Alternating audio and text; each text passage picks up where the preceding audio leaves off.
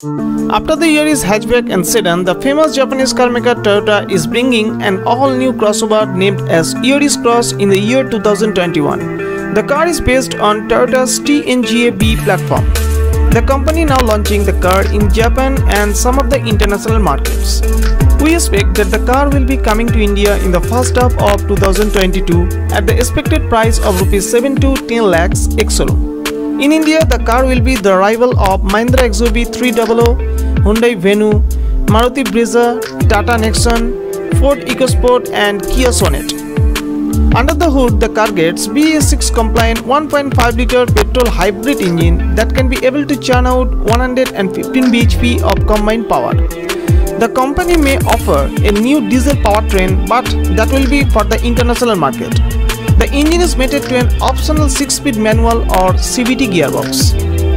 The new Yaris Cross is 4180mm in length, 1765mm in width, 1560mm in height and has the wheelbase of 2560mm. Talking about the exterior, the new crossover gets sleeker mesh grille with Toyota logo sitting on top LED projector headlights, vertically placed DRLs and two circular fog lamps on the lowered grille at the front. The side profile of the car gets power ward beams with slick turn indicators, squared off wheel arcs, blacked out floating roof, body color door handles and 18 inch diamond cut alloy wheels with a dark grey finish. The rear profile gets LED tail lights, blacked out internals, rear washer and defogger, black cladding and vertically placed rear fog lamps.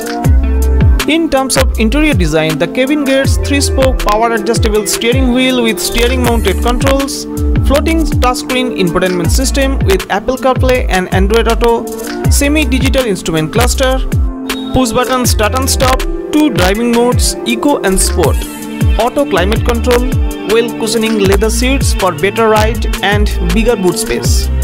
The car is packed with a number of standard safety features which includes ABS with EBD, multiple airbags, lane keeping assist, engine immobilizer, vehicle stability control and rear parking camera with sensors.